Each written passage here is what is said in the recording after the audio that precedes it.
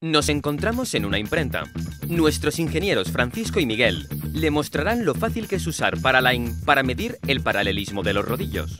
Para obtener una visión general precisa de todos los rodillos, medirán los rodillos principales en todos los niveles de la máquina. Primero veamos qué problemas potenciales pueden darse como resultado de una desalineación de los rodillos.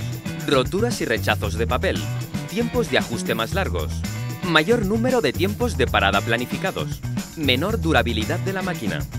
A fin de evitar que todo lo anterior ocurra, deben realizarse regularmente mediciones y diagnósticos de rodillos con precisión.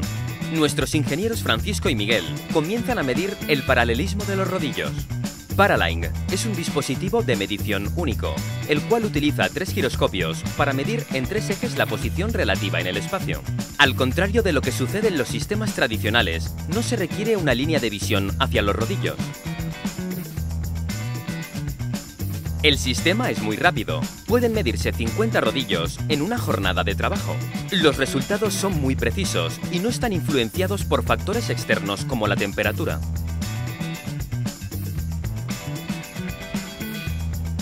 Ahora comprobemos los resultados. Como puede ver, se necesitan correcciones físicas para lograr un paralelismo adecuado de los rodillos. Los ejes de todos los rodillos deben ser paralelos para garantizar la máxima eficiencia de la máquina y la calidad del producto. Nuestros ingenieros volverán a medir los rodillos para asegurarse de que las correcciones han sido satisfactorias. Ventajas principales de la alineación de rodillos con Paraline. No se requiere una línea de visión durante la medición. Mayor calidad del producto. Mayor productividad de la máquina, menos tiempos de parada. Mayor vida útil de la máquina. Paraline ya ha sido empleado a nivel mundial en varios cientos de aplicaciones de las industrias del papel y la celulosa, de impresión, de transformación y del acero. Una vez más, la alineación precisa con Paraline salvó el día.